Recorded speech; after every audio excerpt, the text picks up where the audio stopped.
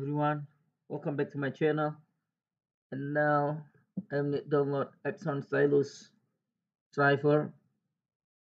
And you type the driver download. This why I am search the official website Epson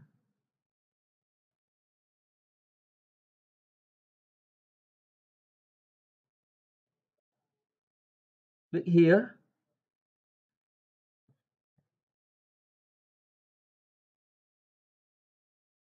this here the this here the official website Epson and now you select operating system click here. And the this Windows 11 Windows 8 Mac 12 Mac 11 and for Linux driver. I am testing for new Windows Windows 11 and click the Windows 11 click here and click button go.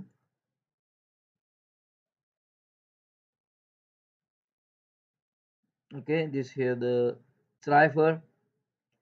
Click here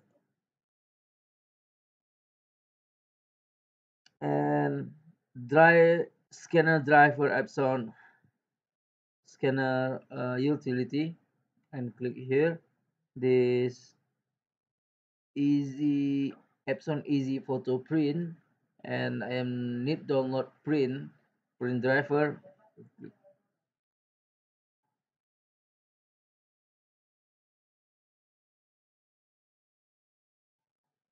And print.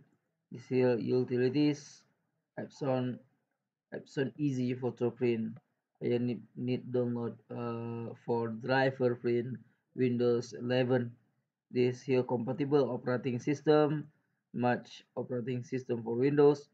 And your download click here button here button download. Click the download. Okay this here the driver download is white the finish. If you need install driver uh you turn on the printer put cable USB printer for laptop or PC and laptop or PC detect the cable printer and you click the running the driver download and click next and finish the driver detect the USB USB USB cable printer. Uh if you need link download below description my video. Thank you for watching. Like and subscribe my video. Bye bye